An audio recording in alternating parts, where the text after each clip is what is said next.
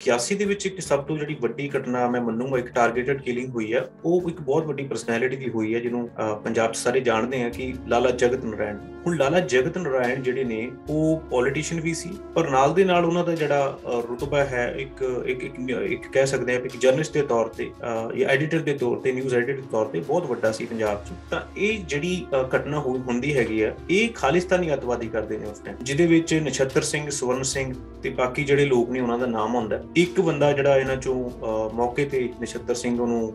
ਫੜ ਲਿਆ ਜਾਂਦਾ ਤੇ ਬਾਕੀ ਜਿਹੜੇ ਦੋ ਵਿਅਕਤੀ ਨੇ, ਉਹ ਕਿਤਨਾ ਕਿਤੇ ਉੱਥੋਂ ਭੱਜਣ ਜਿਹੜੇ ਮੌਕੇ ਤੋਂ ਕਾਮਯਾਬ ਹੁੰਦੇ ਇਸ ਸਾਰੀ ਦੀ ਸਾਰੀ ਜਿਹੜੀ ਘਟਨਾ ਹੈਗੀ ਆ, ਇਹ ਪਿੰਡਰਾਂ ਵਾਲੇ ਦੇ ਹੀ ਨਿਵਾਈ ਕਰਦੇ ਨੇ ਉਸ ਟਾਈਮ ਤੇ ਉਹ ਬਾਅਦ ਵਿੱਚ ਉਹਨਾਂ ਦੀਆਂ ਸਟੇਟਮੈਂਟਸ ਵੀ ਨੇ ਤੇ ਪਿੰਡਰਾਂ ਵਾਲੇ ਦੀ ਟੈਸਟੀਮਨੀ ਵੀ ਹੈਗੀ ਆ। ਉਹਨੇ ਇੱਕ ਵਾਰ ਕਿਹਾ ਵੀ ਸੀ ਕਿ ਇਹ ਸਾਰੀ ਘਟਨਾ ਦੀ ਹੈਗਾ, ਉਹ ਉਹ ਮੈਂ ਜ਼ਿੰਮੇਦਾਰ